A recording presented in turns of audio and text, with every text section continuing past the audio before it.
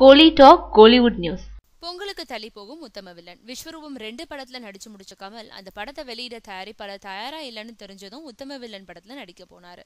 விஸ்வரூபம் ரெண்டு படத்துக்கு முன்னதா உத்தம வில்லன் படத்தை வெளியிடணும்னு திட்டமிட்ட கமல் படத்தோட வேலைகளை பரபரன்னு முடிக்க வச்சாரு. படப்பிடிப்பும் ஒரே கட்டமா நடத்தி முடிக்கப்பட்டது. உத்தம வில்லன் படத்தோட படப்பிடிப்பு முடிஞ்ச கையோடு போஸ்ட் ப்ரொடக்ஷன்ஸ் வேலைகளையும் துரிதப்படுத்தி இப்போ அதோட வேலைகள் இறுதிக்கட்டத்தை எட்டியிருக்கு. இந்த படத்தை முதல்ல அக்டோபர் ரெண்டாம் தேதி அதாவது காந்தி ஜெயந்தி அன்னைக்கு ரிலீஸ் செய்ய திட்டமிட்டிருந்தாங்க.